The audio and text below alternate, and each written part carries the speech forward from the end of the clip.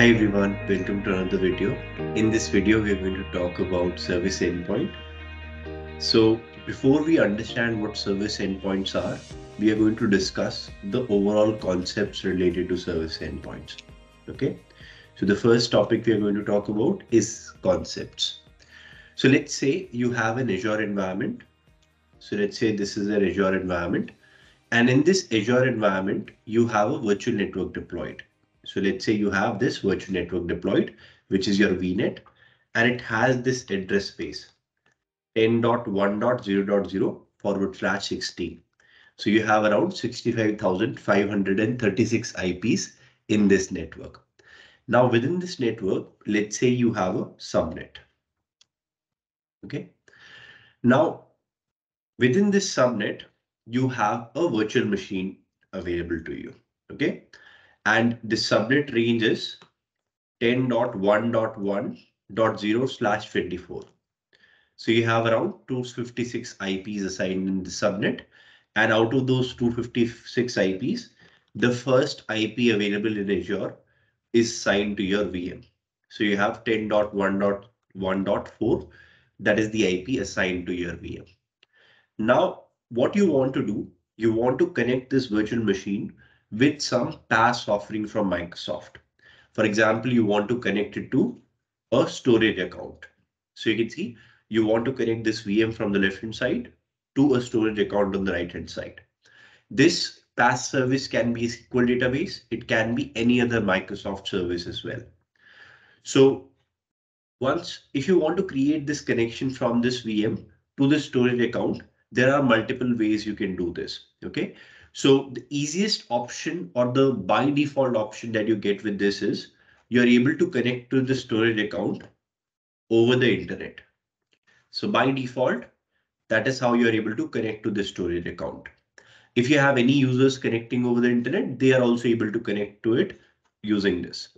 So let's say if I have some internet users, they are also able to connect to the storage account and they talk to the private IP of the storage account. And that's how they're able to access it. But now you're going to think, since this Azure VM and this storage account are both part of Azure, why not have a service which can basically connect this virtual machine to this storage account over Microsoft Backbone. In order to accomplish this, we have a service in Azure called as Service Endpoint. So you have this service endpoint available. What this service endpoint does, it basically creates a connection for you. So it creates a connection from this VM to the storage account, and you're able to connect to the storage account over the Microsoft backbone. So you're not transversing over the internet, which we were doing earlier. We don't do that now. So you're able to connect from this area to the other area by using this Microsoft backbone. Okay, so that is the advantage you get with this solution. Now let's say uh, you have this configuration setup. Now what you want to do, you want to also connect from on-premises. So if you want to connect from on-premises, let's say you have this setup where you have some data center and you have some VM configured there and you want to connect from on-premises to this storage account. So what you can do is you can basically create a ExpressRoute connection or a site-to-site -site connection from on-premises. You have that connection established once you have that connection established, you can basically allow that IP, the public facing IP in your subnet. So you go to your uh, in your uh, virtual net uh, in your storage account firewall and networking section. So you go to your storage account and in that storage account, you go to the networking section and you allow that IP over there. Once you allow that IP, it allows you to communicate with the storage account. So you're talking to, or you're basically connecting over this NATed IP to this Azure service, like a storage account or some other service as well. So this is the overall configuration on how you basically connect uh, from any Azure service, which is deployed on a virtual network to a PaaS offering of Microsoft, like a storage account, a SQL database, Cosmos DB, lot more services can be part of this. So essentially, just to recap, service endpoint helps you to connect to any PaaS service of Microsoft, and it helps you to establish those connections over Microsoft backbone. You're not transversing over the internet in order to connect to those PaaS services. Now, you will ask me, so what are the different services that support service endpoint? So if you see on your screen, all of these services, around 14 services, support services endpoint as of now. This container registry service uh, currently is private, is in private preview, but in future you will see that this will be generally available as well.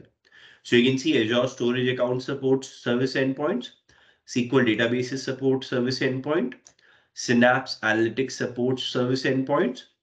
We have other services like PostgreSQL. We have MySQL. We have Cosmos DB, Key Vault service, service bus queues, and event hub. And you can see all these services over here. Now, you have all these services that support service endpoint, and you can configure it when you're deploying your workloads. Now, let's see some of the benefits that you get with this service. So when you configure service endpoint, it helps you to improve the overall security of your workloads. How does it improve the security? You're not going over the internet. You're connecting from your virtual machines to a PaaS service uh, over Microsoft backbone. You don't have to connect over the internet. Plus, the overall routing for you is properly configured. If you have like a network virtual appliance in your network, you can transfer all the traffic to that network virtual appliance and maybe connect that with network virtual appliance to this service endpoint. So it also helps you to optimize your routing and helps you to send all the traffic over Microsoft backbone. Plus, it is really simple to set up. So I'll show you a demo after this. In that demo, you will uh, see that this is a very simple service to set up uh, and it doesn't have a big management overhead. Now we have talked about all the good things about the service. Let's see some of the challenges or limits you have with this service. In terms of limits, this feature is only available to virtual network deployed through ARM templates or ARM deployment model. So if you use the classic model, this functionality will not be available to you. Endpoints are enabled on subnet configured in Azure Virtual Networks. Endpoints can't be used by traffic from your on-premises to Azure. So it basically means if you have Azure Virtual Networks, you create a service endpoint from there to your storage account or some other service. But if you have some on-premises network, you don't get that functionality by default that you can connect that network directly to this service. Although you can basically add it to the allowed list, uh, but you, you're not exactly configuring that network with this service. Okay.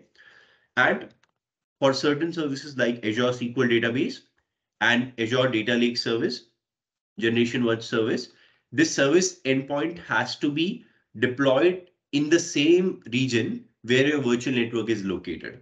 So if your virtual network is located in East US, you have to deploy this service in the same region as well.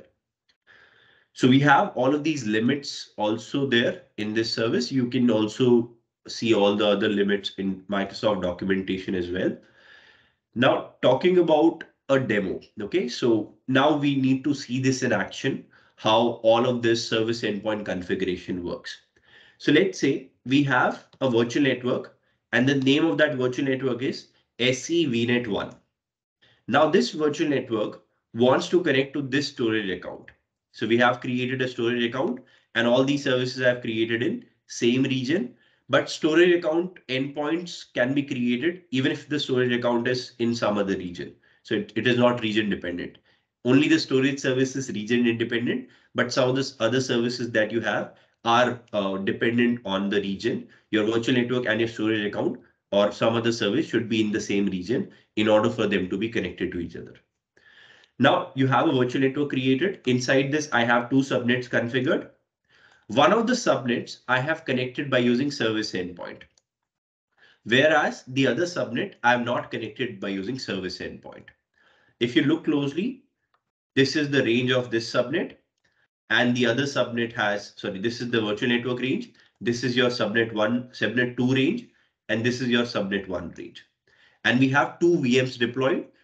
One VM is called as VM SC01 and the other one VM is called as VM NO SC02.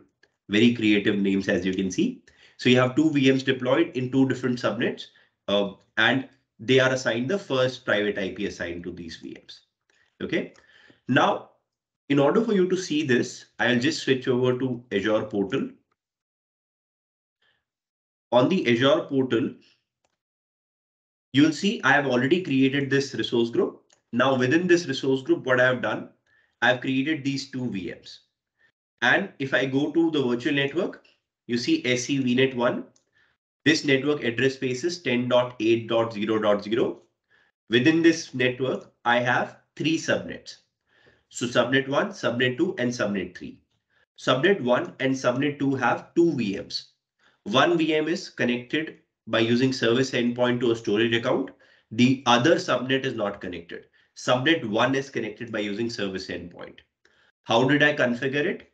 You go to service endpoints, you add a service endpoint, and you have the opportunity to select the service you want to connect to. So you can see all the services where you can connect to a service endpoint. I will select storage. And over here, I'm going to also select the policy. So this policy basically allows you to filter on what resources you can connect to. So if I want this network to only connect to a storage account, I can choose this policy over here. I have to create this policy beforehand, and then I can select this policy over here. Now I can select the subnet that I want to associate this service endpoint with. So I can associate it with subnet 2 or subnet 3 because I've already associated with subnet 1. I can't associate with subnet 1 now. OK, so you can see I've already done this. I'm not going to add this subnet as well. You can see your subnet available over here. You can add your subnet and you can configure this connection over here. The other way or the other area you can configure this connection is you go to your resource group, you go to your storage account, and within your storage account, you'll find a container service over here, right? And I can see I have already uploaded some files to my container. OK, so I have this file uploaded to my container and I have my storage account configured. Now going back to this, on my storage account, I see this area called networking area. In this networking area, what I've done, I've allowed access only from selected networks. Okay. And in the selected network, I've selected VNet 1 and subnet 1. Okay. So I've only selected subnet 1, which will be able to connect to this uh, to this storage account. Now what I will do, once I have done this, I'll go back to containers and I have also added my IP. So you see, I have added my IP if I'm connecting from on premises. So if you see the diagram again, if I'm connecting from on premises, I can also add that range or single IPs, which will be able to connect to this storage account. So I can also do that. For our configuration, I've just added my private, my IP address over here. Now, once you have done this, you can go to the containers. And if I go to container one, I can basically go to this blob. And if I copy this blob, and if I go to VM1, this is my VM1. So what I've done, I went back to this VM. I basically created a RDP connection to VM1, connect an RDP connection. Similarly, I did this for the other VM as well, where no service endpoint is configured. This is part of subnet 2. You can see this is part of subnet 2. The other VM is part of subnet 1. See, this, this is part of subnet 1. So I've configured both the VMs and I've connected to those VMs.